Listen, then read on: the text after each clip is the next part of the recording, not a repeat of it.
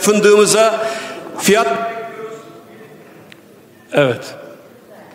Halkların Eşitlik ve Demokrasi Partisi grubu adına Gülistan Kı- Kılıç Koçyiğit. Buyurun Sayın Koçyiğit.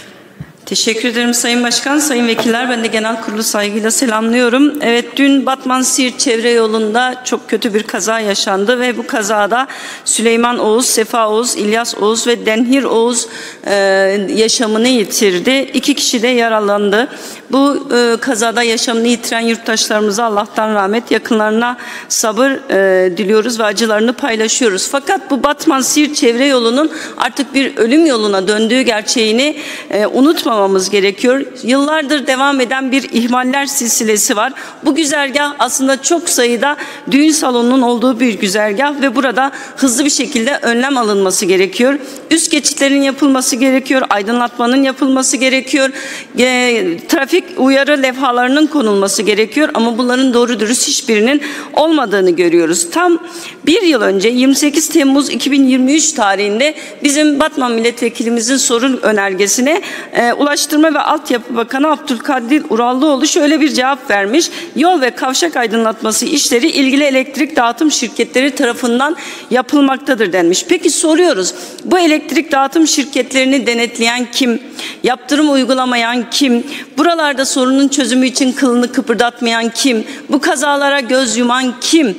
Ve bu kayıpların sorumlusu kim sorularını sormamız gerekiyor. Tabii ki önlem almayan iktidarın kendisi, önlem almayan kurumların kendisi bu dört kişinin yaşamını yitirmesi ve iki kişinin yaralanmasından da bizzat sorumlular. Bu nedenle hızlı bir şekilde bu yolda önlem alınması gerekiyor. Batman Siirt çevre yolundaki gerekli tedbirlerin alınması çağrısını da buradan bir kez daha ifade etmek istiyorum.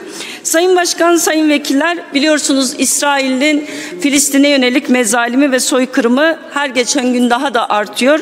Mazlum Filistin halkını her gün katleden bir İsrail devlet gerçeğiyle karşı karşıyayız. Ama tabii ki dünyanın dört bir yanında ve özellikle de İsrail'de Netanyahu hükümetine karşı çok ciddi protestolar var. Fakat her bu protestodan yani aslında kendi ülkesi için diktatör olan e, ülkeler olduğunda ya da kişiler söz konusu olduğunda mutlaka dışarıdan bir can suyu taşındığını görüyoruz. Dün Tayyip Erdoğan'ın yaptığı açıklamanın da aslında Netanyahu hükümetine bir can suyu olduğunu ifade etmemiz gerekiyor. Ne demişti Tayyip Erdoğan? Karabağ Libya'ya girdiğimiz gibi İsrail'e de girmesini biliriz. Önce şunu söylememiz gerekiyor. Bu bir itiraftır. Karabağ'a ne zaman girdiniz? Karabağ'da Libya'da kimi savaştırdınız? Hangi cihatçı örgütleri orada götürdünüz ve savaşın seyrini değiştirdiniz? En önemlisi Libya'da bugün Libya'nın yaşadığı sorunlarda dahliniz nedir? Bu meclis neden bunları bilmiyor? Bu ülke neden bunları bilmiyor? Kime sordunuz? Kime danıştınız? Kimden yetki aldınız sorularını yüksek sesle sormamız gerekiyor. Ama bundan daha önemlisi şu. Mevcut Netanyahu karşıtı protestolar aslında Tayyip Erdoğan'ın işte İsrail'e gireriz açıklaması sonrası Netanyahu'ya karşı yükselen barış seslerini ve yükselen öfkeyi dindirme ve Netanyahu hükümeti etrafında birleşmek gibi bir riski doğuruyor. Tabii bu durumda bir de bunun karşı hamlesi var. Biliyorsunuz İsrail Dışişleri Bakanı da bir açıklama yaptı ve e, bir benzetme de yaptı. Buradan tekrar etmek istemiyorum zamanımı almaması için. Ama aynı durum burası da içinde geçerli. Türkiye'de de İsrail'e yönelik özellikle Filistin soykırım başladığından beri Türkiye'nin takındığı ikircikli tutum, gerçek anlamda barış için etkin bir tutum almaması, Filistin'e yönelik yardımlar ve Filistin barışı konusunda etkin olarak çaba harcamaması nedeniyle çok ciddi eleştiriler var. Yine burada İsrail'i protesto eden insanların gözaltına alınması, tutuklanması da bu ikircikli ve ikiyüzlü yaklaşımların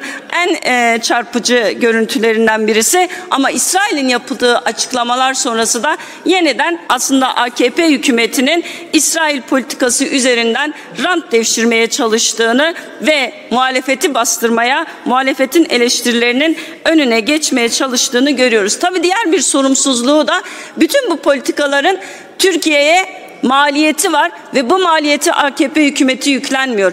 Bütün bu açıklamaların ekonomiden siyasal gelişmelere kadar sonuçları var ve bu sonuçları 85 milyon Türkiye halkları bu sonuçlarla e, yüzleşiyor.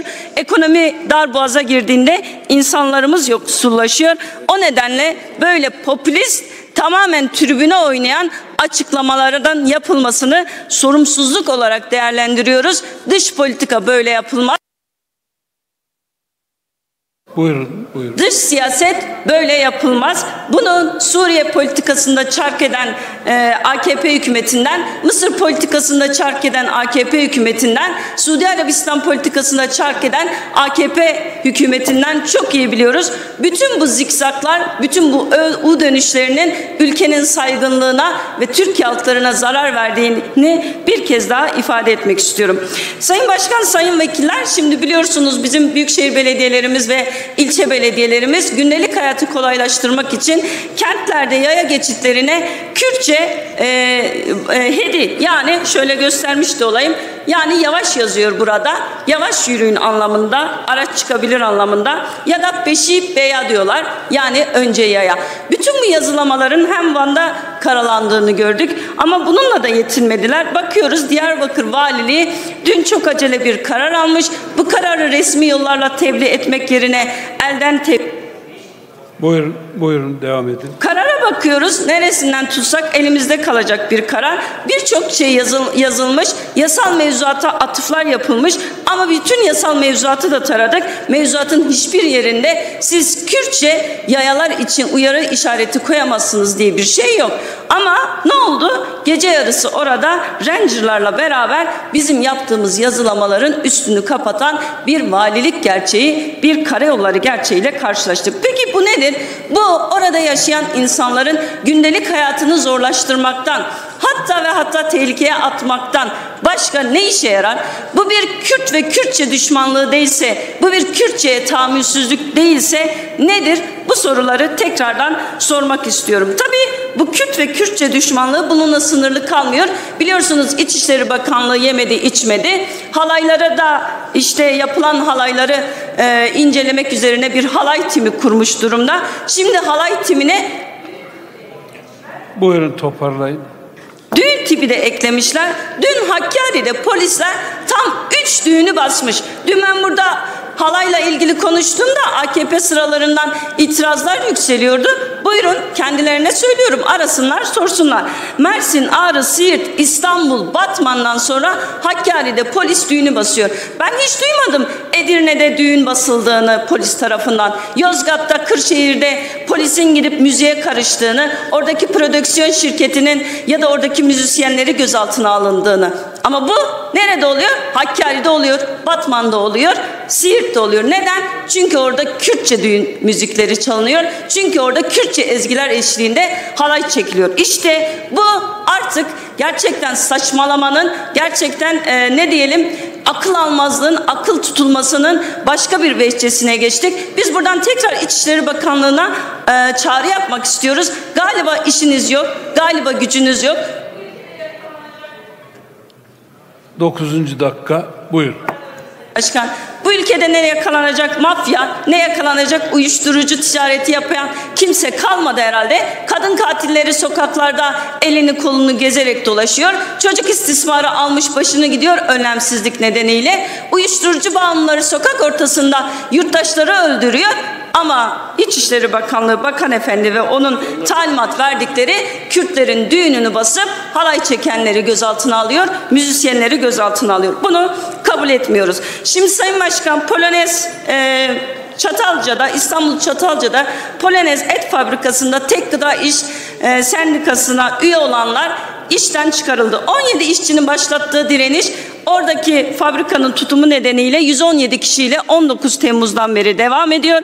Bakın dünden beri bu direnişe polis saldırıyor. Gaz sıktı, jopladı oradaki işçileri. Bir kadın işçi darp edildi. Gece Çatalca Kaymakamlığı'na yürüdü işçiler ve bunu Toparlayalım lütfen. Buyurun toparlayalım. Teşekkür ederim sabrınız için. Bunun sonucunda Çatalca Kaymakamı ile görüştüler ve e, hala hala hazırda bir sonuç alınabilmiş değil. Hatırlarsınız birkaç hafta bir geçen hafta Iğdır'da bir polis emniyet yetkilisinin ağzında sakızla liyakatsız bir şekilde kayyum işçilerine yönelik yaptığı ve partimizi nasıl hedef gösterdiği bütün kamuoyuna yansımıştı. Orada işçiden yanamış gibi bir tutum sergiliyordu. Partimizi ve belediyemize hedef gösteriyordu. Ama Çatalca'da işten çıkarılan işçileri gazlıyor, jopluyor. İşte AKP hükümetinin gerçeği bu. İkiyüzlüsünüz, riyakarsınız, işçi düşmanısınız, sermayeden yanasınız. Teşekkür ederim. Cumhuriyet Halk Partisi grubu adına Sayın Murat Emir. Buyurun Sayın Emir. Teşekkür ederim Sayın Başkan. Genel kurulu saygıyla selamlıyorum. İsrail Dışişleri Bakanı'nın Sayın Cumhurbaşkanımıza karşı e, Saddam'a benzetecek kadar e, şirazesi kaymış e, sözlerini asla kabul etmiyoruz. Biz elbette e, Cumhuriyetimizin, ülkemizin, devletimizin ve Cumhurbaşkanımızın da yurt dışında e, böylesine e, ithamlara maruz kalmasından son derece rahatsızız ve devletimizin yanında durmayı bir görev biliriz. Ancak doğruları bu meclis çatısı altında söylemek de bizim temel görevimizdir. Bir defa Sayın Cumhurbaşkanı bunu nerede söylüyor? Rize AKP İl Başkanlığında söylüyor. Bu olacak şey değildir. Türkiye Cumhuriyeti Cumhurbaşkanı Türkiye'nin dış politikasıyla ilgili hem de hangi ülkeye nasıl gireceğimizle ilgili son derece kritik, son derece hassas bir bir politika e, açıklamasını il başkanlığında yapmamalı. Dış politika ulu orta konuşulacak bir şey değildir. Dış politika iç politikaya malzeme yapmak için yapılmaz. Dış politika hamaset için yapılmaz. Dış politika partimizin oyları artsın diye yapılmaz. Dış politika bizim seçmenlerimiz beni alkışlasın diye yapılmaz. Ancak ve ancak milli çıkarlarımız için yapılır. Ve eğer gerçekten İsrail ile AKP iktidarının bir sorunu var ise asıl yapması gereken önce küreciyi gözden geçirmektir. Bunu bekliyoruz. İncirliğe ne yapıyorsunuz? Bunu bekliyoruz. Aynı zamanda siz milyonlarca dolar e, İsrail'e aylar boyunca yapmadık dediniz ama göz göre göre silah yapımında kullanılacak, altyapı yapımında kullanılacak malzemeleri ihraç ettiniz. Buna göz yumdunuz ve bunu yapanlar içerisinde AKP'li siyasetçiler oldu. Apaçık ortaya çıktı. Bunlar için ne yaptınız? Dolayısıyla biz şunu biliyoruz. AKP ne zaman alanlara çıksa, ne zaman meydan okusa, ne zaman ey dese diğer eliyle mutlaka el sıkışıyordur ve muhtemeldir ki şu anda da İsrail'le de el sıkışıyordur. Dış politikanın ulu orta değil, daha ciddi, daha dengeli, daha ağır başlı yapılması gerektiğini bir kez daha söylemiş olalım. Sayın Başkan, Türkiye'de işsizlik ağır bir problem olmaya devam ediyor. Gerçek işsizlik 10 milyonun üzerinde. Sadece atanmayan 1 milyon öğretmenimiz var. Ama bu koşullar altında bile kimi AKP'li siyasetçilerin başta Sayın Cumhurbaşkanı olmak üzere işsizliği hafife aldığını ve aslında işsizlik olmadığını, aslında iş olduğunu ama iş beğenmediğini söylediğini biliyoruz. Hatta Sayın Cumhurbaşkanı herkes bitirdiği okuldan sonra iş bulacak diye bir kaydı da yok diyecek kadar vurdum duymazlığını ortaya koymuştu. Ancak Cumhurbaşkanlığının insan kaynakları Üniveri projesinin e, detaylarına baktığımızda çok vahim bir tablo görüyoruz. Bu e, Cumhurbaşkanlığının sitesinden anlıyoruz ki eğitimini yaptığı işte çalışanların oranı neredeyse yüzde yirmiler seviyesinde. Ve biliyoruz ki inşaat işçiliği yapan öğretmenlerimiz çok. Onları ancak inşaatta iş kazası geçirip yaşamlarını kaybettiklerinde hatırlıyoruz. Dolayısıyla bu işsizlik sorununun giderek yakıcı bir hal aldığını buradan bir kez daha vurgulamak isterim. Sayın Başkan ve değerli milletvekilleri özellikle siyasi iktidarın 31 Mart yerel seçimlerinde halkımızın verdiği mesajı anlamadığı, anlamak istemediği ve hala hazmedemediği anlaşılıyor. Bir hınçla bir e, şiddetle CHP'li belediyeleri nasıl sıkıştıracaklarını açıkça itiraf ediyorlar. Olağan bir prosedürle SGK borçlarını tahsil ediyor değil, tam tersine e, Cumhurbaşkanlığı makamından yani en tepedeki makamdan işte biz bu borçları takip ederiz, bakalım ne yapacaksınız şeklinde bir yaklaşım var.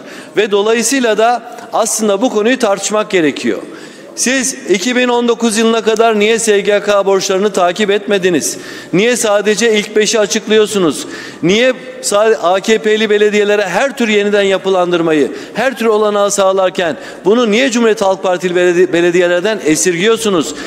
Kimi yerlerde TOKİ'nin e, arsa satışları oluyor belediyelerle TOKİ arasında. Niye belediyelerin bu kaynağını önlüyorsunuz, engelliyorsunuz? Aynı şekilde bakın Sayın Mansur Yavaş açıkladı. 1 trilyon liranın üzerinde Çevre Bakanlığı'ndan alacağı var ama alacağını ödemiyorlar ama diğer taraftan dönüyorlar sen SGK'ya en çok borçlu belediyesin diye afiş ediyorlar. Peki Mansur Yavaş niye borçlu SGK? Buyurun Sayın Emir buyurun. Baktığınızda son derece borçlu bir batak bir belediye devralmış. 1.2 mil, e, milyar dolara yakın borç ödemiş. Anka Park'tan kaynaklanan borçları bile ödemiş. Ve sonrasında gram kredi kullandırtmamışlar belediye meclisinde üzerinden ama o pandemi koşullarında emeklinin, işçinin, yoksulun yanında olmaya devam etmiş. Sübvansiyonlarıyla olması gerektiği gibi devam etmiş. Şimdi şimdi dönüp Çevre Bakanlığı'ndan alması gereken parayı vermiyorsunuz. TOKİ ile yaptığı protokollerle alması gereken tapuları vermiyorsunuz. Mahsuplaşma yapmıyorsunuz. Sonra diyorsunuz ki Mansur Yavaş gel borçlarını öde. Bu ucuz siyasettir ve bilinsin ki vatandaşlarımız bunu görüyor. Buradan elde edecekleri hiçbir şey yoktur. Bunu 5 yıl boyunca yaptılar. İstanbul'da yaptılar, Adana'da, Mersin'de, İzmir'de, Antalya'da, Ankara'da yaptılar ama vatandaşımız kimin hizmet etmeye çalıştığını ama kimin hizmet edenin elini kolunu bağlamaya Buyurun, buyurun tamamlayın. Bağlamaya çalıştığını apaçık görüyorlar. Sayın Başkan Sabrınızı fazla e, zorlamayacağım.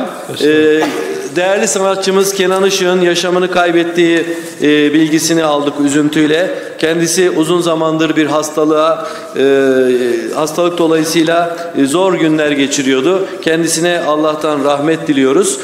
son olarak Sayın Başkan, bugün yine adı hayvan hakları olan ama gerçekte hayvanları katletme kanunu olan e, bir kanunu görüşeceğiz. Ve bu kanunu anlıyoruz ki bugün bitirmeye çalışacak sayın e, iktidar mensupları ve yine sabahlara kadar çalışacağız. Açıklıkla ifade etmeliyim ki bizim sabahlara kadar çalışmakla ilgili bir sorunumuz yok. Ama eğer bunu yapacaksak yani eğer sabahlara kadar çalışıp hayvanları katledecek bir yasayı çıkartıp oradan da tatile gideceksek bizim buna itirazımız var. Buradan AKP grubuna sesleniyorum. Buyurun, buyurun toparlayın buyurun. Beyler nereye gidiyorsunuz? Hangi sorunu çözdüğünüzde gidiyorsunuz? Emeklilere 12.500 lira vermeyi çözüm mü sayıyorsunuz? Açlık sınırı 20 bin lira. Nereye gidiyorsunuz? Asgari ücrete zam yaptınız mı? Kendi enflasyonunuz yüzde yetmiş, asgari ücret 17 bin lirada kaldı. Bunu çözmeden nereye gidiyorsunuz? Daha geçen gün İzmir'de iki vatandaşımız yaşamını yitirdi. Gelin nereye kadar gidiyorsa araştıralım dedik. Bu sorunu çözelim dedik. Bir daha kimse bu, bu şekilde ölmesin dedik. Bu 20. yüzyıl Türkiye'sine yakışmıyor dedik. Bunu bile araştırmadınız. Bunu araştırmadan nereye gidiyorsunuz? Bir milyon atanmayan öğretmen var. Bu sorunu çözmediniz. Hiç kılınızı kıpırdatmadınız. Bu sorunu çözmeden nereye gidiyorsunuz? Bu neyin tatilidir? Ve gerçekten de de Sayın Başkan ve değerli milletvekilleri bu meclisin halkın gerçek gündemiyle uğraşmasının zamanı gelmiştir. Ve bundan sonra da bu mücadelenin verilmesi gerektiğine inanıyoruz. Sabrınız... Teşekkür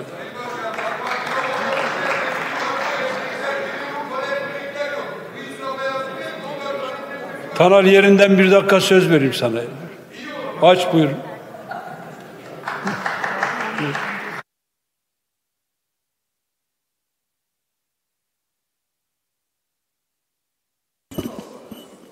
Değerli başkanım çok teşekkür ederim. Değerli milletvekilleri hepinizi saygıyla hürmetle selamlıyorum.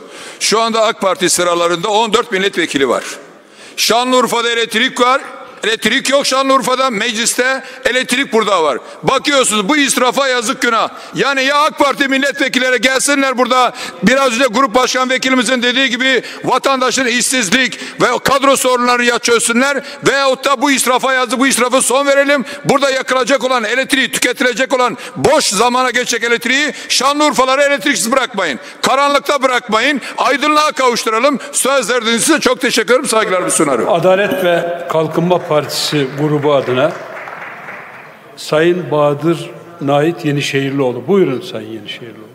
Sayın Başkan, değerli milletvekilleri, İsrail'in muhalefet partisinin sözde lideri Lapid, İsrail'in sözde Dışişleri Bakanı Katz ve Hollanda Temsilciler Meclisi üyesi Wilders, organize bir şekilde dünya üzerindeki mazlumların sesi ve umudu, Cumhurbaşkanımız Sayın Recep Tayyip Erdoğan'a hedef almışlardır. Sabıkası bozuk bu çapsızların ifadelerini kabul etmemiz asla mümkün değildir. Türkiye, insan haklarının, demokrasisinin, hakkın ve hukukun sesi oldukça böylesi kendini bilmezlere rahatlık, rahatsızlık vermeye de devam edeceğiz. Katliam şebekesi mensuplarının zulüm ordularının başına geçmek için sıra bekleyen şuursuzların ve aklını kiraya vermiş faşist müptezellerin Cumhurbaşkanımız Sayın Recep Tayyip Erdoğan'ı hedef almaları yürüdüğümüz yolun doğruluğunu ispat eder durumdadır.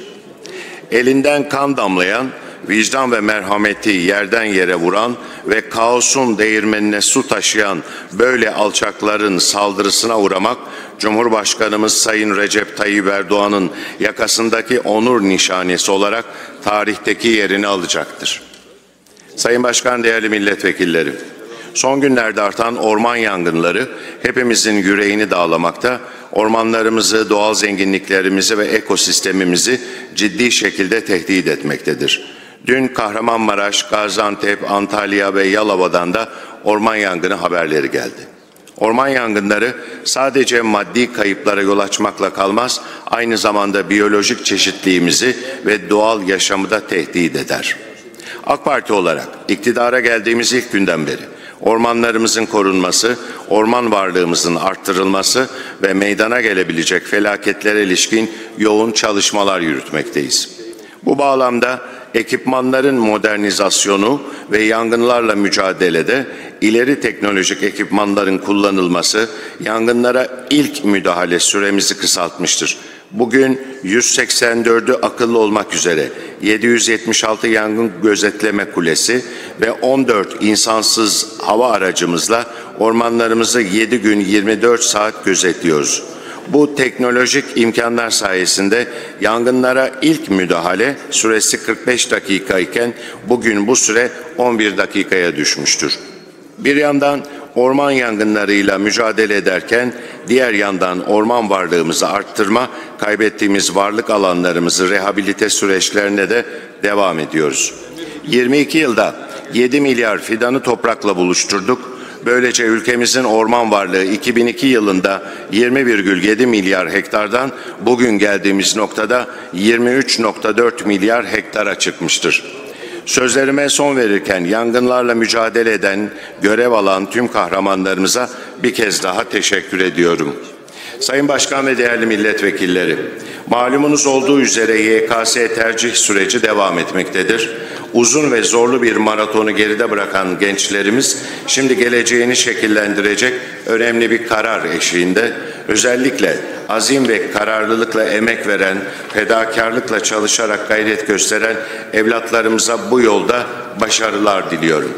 Sayın Başkan, değerli milletvekilleri, kadın milli voleybol takımımız Paris'te devam eden 2024 Olimpiyat oyunları kapsamında ilk maçına çıktı. 2-0 geriye düşmesine rağmen büyük bir mücadele örneği sergileyerek Hollanda'yı 3-2 mağlup eden kadın milli voleybol takımımızı yürekten tebrik ediyorum. Filenin sultanlarına ve olimpiyat oyunlarına katılarak ülkemizi temsil eden tüm sporcularımıza başarılar diliyorum. Sayın Başkan ve değerli milletvekilleri, Mavi Vatan gibi milli bir meselenin dahi siyasi tartışmalara malzeme edilmesi hepimizi derinden üzmüştür. Ana vatanımızın ayrılmaz bir parçası olan mavi vatana masal demek milli ve manevi değerlerden kopukluktur. Mavi vatan Türkiye'nin denizlerdeki egemenlik haklarını, ekonomik çıkarlarını ve güvenliğini ifade eder. Türkiye Cumhuriyeti Devleti bulunduğu her noktada hukukun korunması ve adaletin tecellisi adına mücadele vermektedir. mavi vatanın itibarını bir takım anlamsız çıkışlarla zedelemeye çalışmak bir yana verilen destansı mücadele için ortak bir irade ortaya koymak hepimizin görev ve sorumluluğu olmalıdır. Türkiye'nin ulusal menfaatlerine zarar veren bu anlayışı şiddetle kınıyorum. Sayın Başkan, değerli millet Buyurun, buyurun tamamlayın. Sayın Başkan, değerli milletvekilleri, beraber görev yapmaktan gurur duyduğum hemşerim Erkan Akçay Bey ameliyattan çıkmıştır. Güzel haberlerini aldım. Bu bizi derinden sevindirmiştir. Allah'tan kendisine şifa diliyorum. Ayrıca değerli sanatçı Kenan Işık Bey'e Allah'tan rahmet diliyorum. Genel kurulu ve şahsınızı saygıyla selamlıyorum. Sayın Önder'e söz vereyim.